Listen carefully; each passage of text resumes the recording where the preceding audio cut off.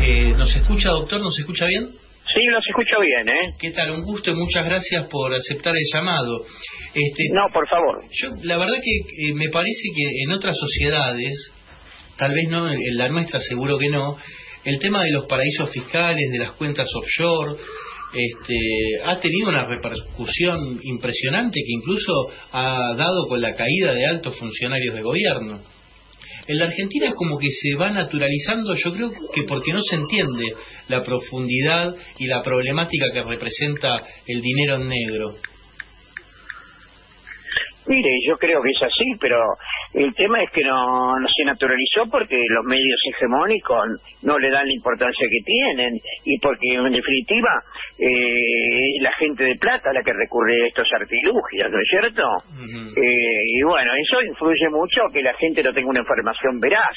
Entonces algunos le dicen, por ejemplo, como los ah, como ¿escucha? Sí, sí. Hola, sí, Sí, perfecto. Como, como pasó en, en los, en los, en los Pandora Papers, que algunas, que están bien, porque la noticia, dijeron, están bien tener, en algunos casos no, pero en otros sí, eh, que no siempre está mal, y entonces la gente tiene una confusión y no puede discutir, no entiende, porque se tratan de muchas veces de temas económicos y los argentinos a los temas económicos medio le rehuimos un poco, porque son normalmente muy técnicos y para especialistas, y entonces naturaliza, bueno, un motochorro, los bolsos de López, ¿no es cierto? Eso es una cosa horrible, espantosa, eh, que y estamos hablando de mucha mucha menos plata de la que se fuga a través, o de que se evade a través de, lo, de las sociedades y las cuentas eh, offshore, ¿no? Y eso es lo que sucede. La gente no tiene una idea cabal, mucho menos durante un gobierno, cuando aparecen los Panama Papers y los Paradise Papers, en donde eh, prácticamente todos los mejores funcionarios de los últimos 50 años eh, tenían toda su actividad en offshore, ¿no? Lo dijo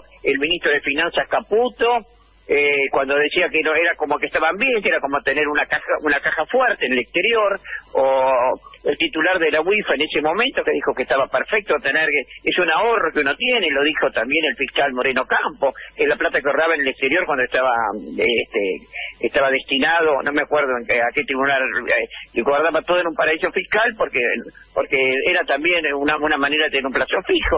Entonces, este, el tema es discutible, Eh, no es que sea discutible, no, no admite la menor discusión, pero la gente se le engaña a través de los medios que lee, y siempre es ilegítima, siempre son ilegítimas las sociedades offshore. Claro, siempre el dinero es, un, es dinero oculto. Ahora, ¿nos puede explicar un poco la mecánica para explicarle a, la- a la sociedad también? Bueno, eh, le pongo, hay miles de ejemplos porque las variantes son enormes y la, la de- y la persecución a esta, a esta actividad en, en el ente siempre vamos detrás, nosotros, siempre el Estado está detrás, pero en definitiva, supongamos que mm, usted quiere iniciar un emprendimiento impor- relativamente importante, este es un ejemplo nada más, ¿eh?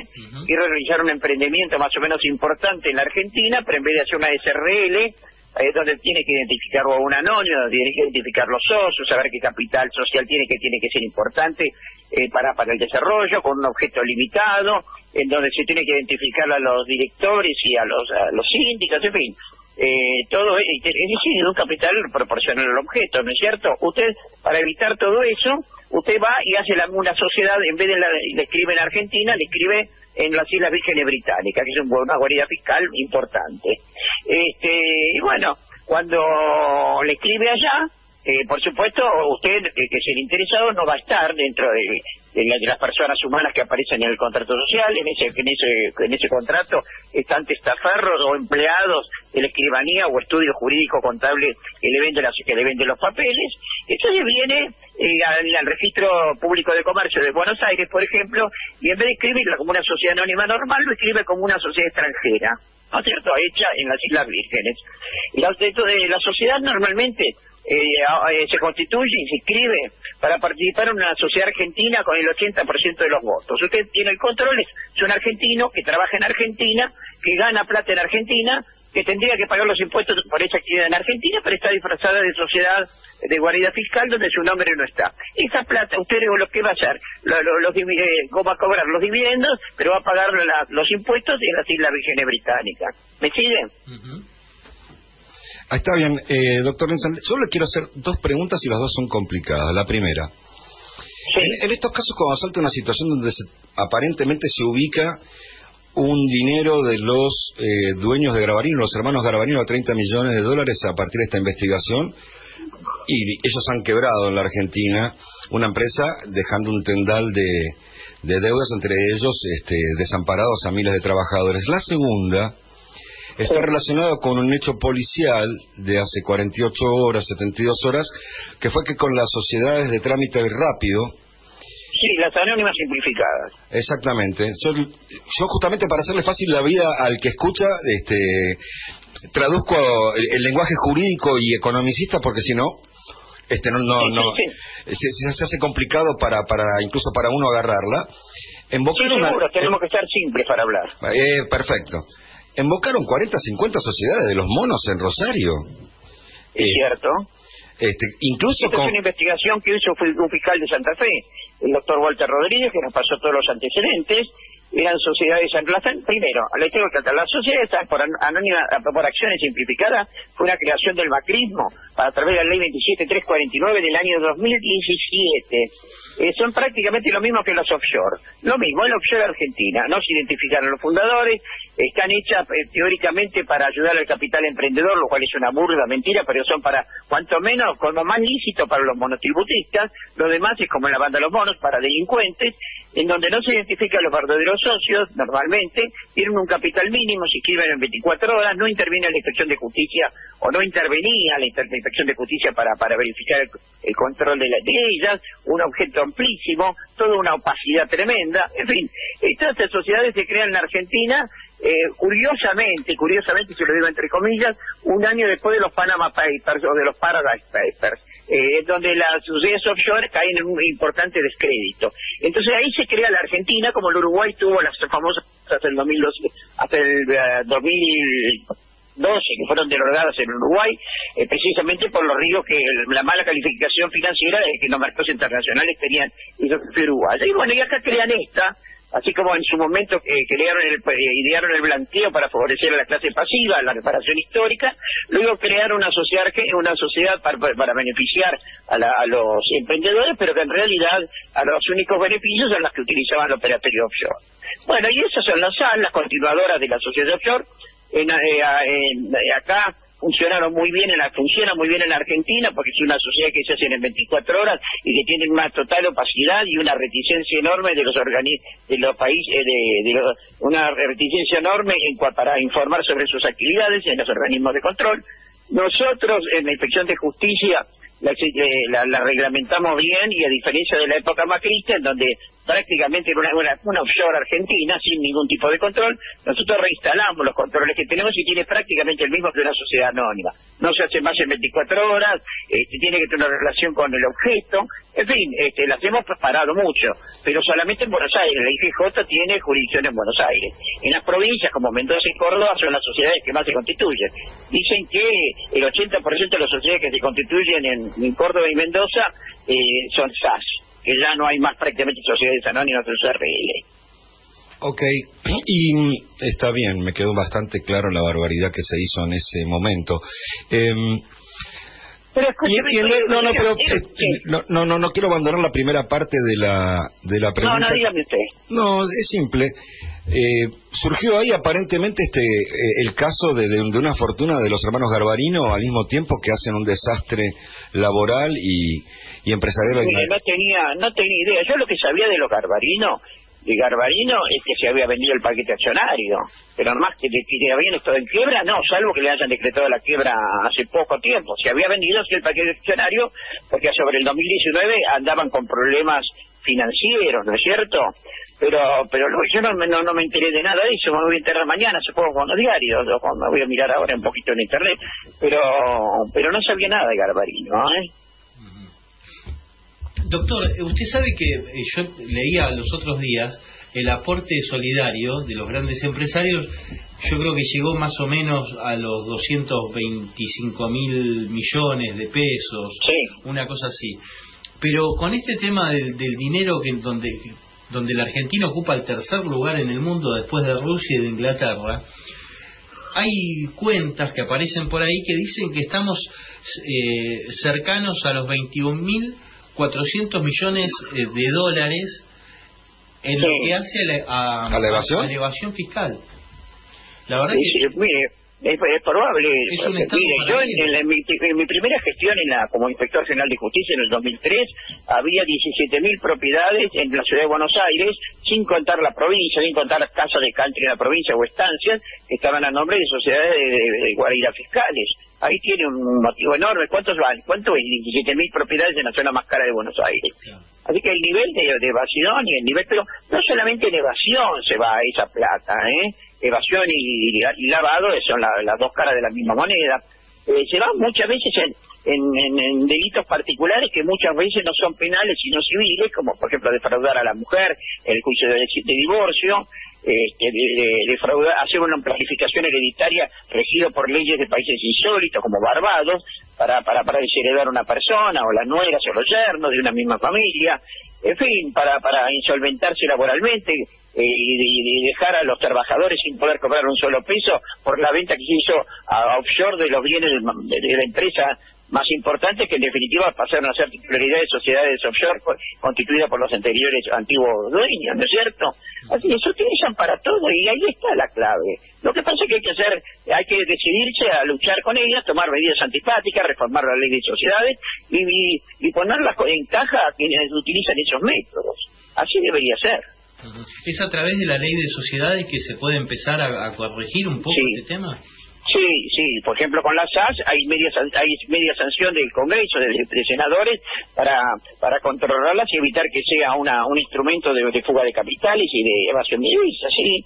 Eh, pero todavía no sé, no, no lo trató diputado porque los, eh, los eh, diputados de, de, Frente por el Cambio no quieren saber absolutamente nada porque eh, prácticamente todos ellos las utilizan. estas no son sociedades que las utilizan los jubilados o los monotributistas, son eh, instrumentos que, que lo tienen este, que lo utilizan la gente adinerada, ¿no es cierto? Y que debe salir una fortuna, porque cuesta una, cuesta plata mantenerla, no le digo una fortuna, pero hay que pagar todos los años una, una, un, un canon por asesoramiento, en fin, este, hay que pagar las actas, eh, hay que hacer los aportes también correspondientes, y hay que aportar dinero, hay que aportarlo allá y eso cuesta plata. Eh, no es para cualquiera eh, manejarse de esa manera, con, con, son las tres patas de la mesa, sociedades offshore, sociedades este, por acciones simplificadas, que son la continuación y la, y la offshore argentina, y el fideicomiso, también otro instrumento que donde hay un fideicomiso salga corriendo. no importa que sea ciego. No, bueno, bueno, ese era un invento. Pero ahí ahí están todos, en esa figura del comiso ciego, y nosotros lo investigamos bien desde la IGJ, están todos los delitos económicos del Código Penal, ¿eh? Y de leyes especiales, todos. ¿Ustedes tienen iniciativa este acusatoria? Sí, lo denunciamos todo eso al tribunal, a la, después de las investigaciones y, y, hemos descubierto que ahí se fugaron cerca de 55 millones de pesos de una de las sociedades cuyas acciones forman parte del fideicomiso, hicimos la denuncia a la, a la Oficina Anticorrupción que, la presentó y en, en, el, en el juzgado de Servini de Cubría, sí.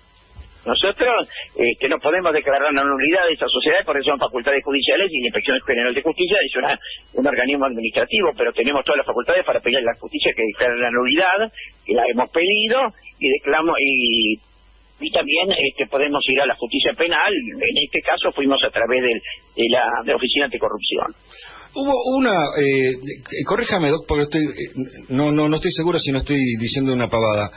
¿Hubo una intención de, municipalizar la, inspección de justicia? Claro, el, el, sueño eh, nunca cumplido de Macri cuando se, cuando se modifica la constitución y se le dan ciertas prerrogativas a la ciudad autónoma de Buenos Aires, ellos estaban desesperados por tener la inspección de justicia y el registro de la propiedad inmueble, vaya que quería, vaya misión, ¿no?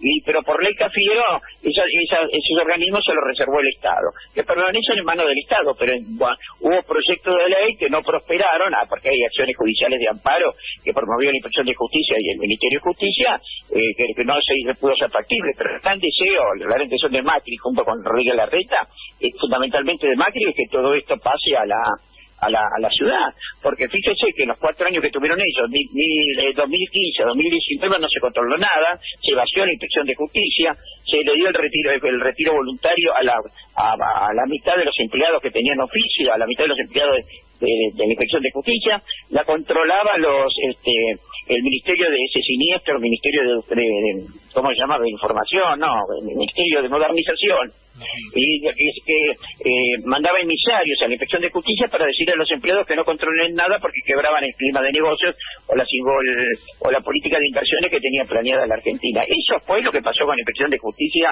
en, del 2015 al 2019. Yo recibí una inspección de justicia que era una piltrafa. ¿eh? Le quiero hacer una última pregunta y tómelo con humor si, si, si puede. Eh, dentro de las cosas que ustedes controlan, controlan los clubes, ¿verdad?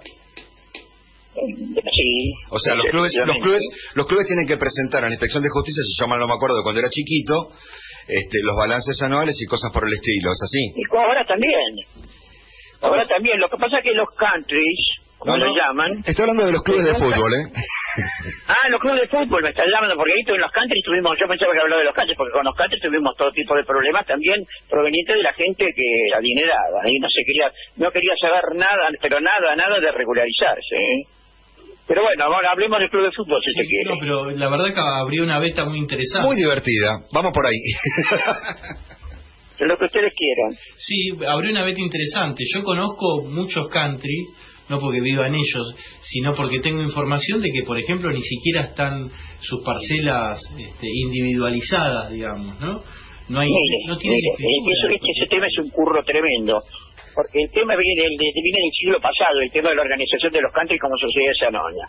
La historia es así, el country cómo se origina, con un señor un señor que tenía mucha plata o heredó terrenos en la provincia de Buenos Aires importantes, tierras en la provincia de Buenos Aires, no para hacer una explotación agropecuaria, pero sí para lotearlo, y contrató a, una, una firma, a la firma desarrolladora. Estas firmas desarrolladoras eh, construían un country, ¿no es cierto?, pero se reservaban, junto con el dueño, hacían la sociedad que iba a administrar todo y se reservaban acciones, eh, lo que llaman acciones privilegiadas, que tienen eh, que pueden tener hasta cinco votos por acción. De tal manera que usted, con el 20% de la sociedad, la controla totalmente como si tuviera la mayoría. Y a los propietarios que compraban una casa o un lote le daban una acción. Con lo cual imagina que esa gente que se reservó en el estatuto de la sociedad anónima este, que, fue un, nido de un semillero de conflictos, se reservaba el control con el 20%, y los demás propietarios no sabía qué era, si era de una acción, de una casa, no, nunca se supo cómo mover. Y el Código Civil y Comercial del 2015 este, la dijo que se tenía que manejar precisamente para evitar esos, inconvenientes como un consorcio de propietarios. Y le dio cinco años para adaptarse a las sociedades anónimas dedicadas a un, de one country, eran que llaman asociaciones bajo forma de sociedad, porque ahí nadie retira dividendos, eh, y bueno, eh, pasaron cinco años y ningún country se había moldado, especulando que nadie se iba a dar cuenta. Nosotros caímos en cuenta de que habían pasado cinco años y no se había hecho ninguna transformación, y bueno, las intimamos a adecuarse, y lo cual les causó una, un enorme, una enorme disgusto, este, y, y invocaban que si en fin, que, era muy caro, problemas registrales y el registro de la propiedad inmueble, pero esto está caminando ahora, ¿eh? ahora se están adecuando.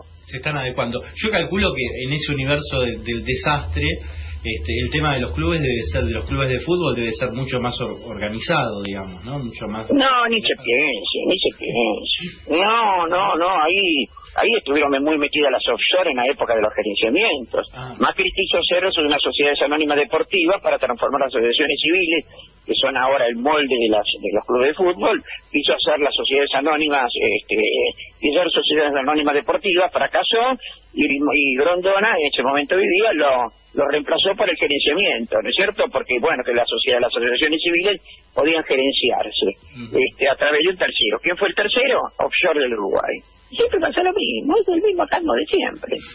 Es increíble, la verdad que es increíble. Ahora voy a apelar a su lectura política, ¿no? Porque siempre que hablamos de estos temas, siempre se apunta al mismo lugar.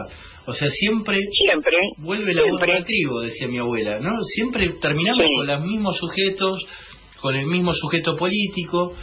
Este, ¿A usted qué, qué, qué relación le parece que hay entre la política y estos movimientos?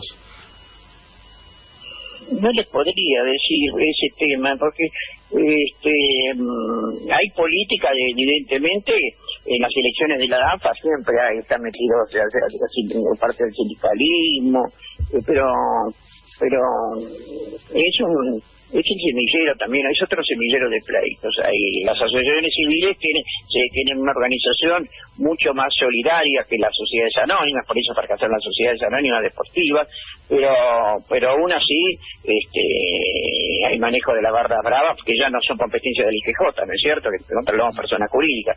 Pero sí, es evidente que, como dice usted, alguna vinculación con la política siempre tiene. Siempre tienen. Este, doctor, la verdad que ha sido muy interesante y, y más que seguro que lo estamos volviendo a molestar en cualquier momento.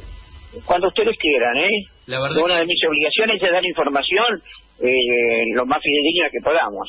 Eh, así que este, no, no, no, no. No, no, no, no, no, no les vamos a engañar con nada. Si no lo sabemos, se lo voy a decir, como les lo dije hoy con el Garbarino, que no tenemos todavía esa información. Pero fuera de eso, mm, para mí es un placer eh, poder anoticiarlos de esto y hablarles, intentar, intentar hablarles con lenguaje sencillo, porque cuando alguien eh, quiere eh, explicar algo y no quiere que lo entiendan, utiliza un lenguaje técnico y así como muchos médicos, contadores, economistas o abogados, no se les entiende nada. Yo estoy como abogado e intento hacer lo imposible para que se me pueda entender. Sí, totalmente. Usted sabe que Jaureche decía que el que el que no entiende economía es mentira. Decía, si usted no entiende, vuelva a preguntar. Si otra vez no entiende, vuelva a preguntar de nuevo. Y si la tercera vez no entiende es porque lo están embromando, ¿no? Es cierto. Y yo le hago una pregunta. ¿Por qué cree que los jueces usan latinazgos en sus sentencias? Sí, bueno, claro. Le mandamos un abrazo. Muchas gracias, doctor. Gracias, gracias a ustedes. Muy amable, que siga bien.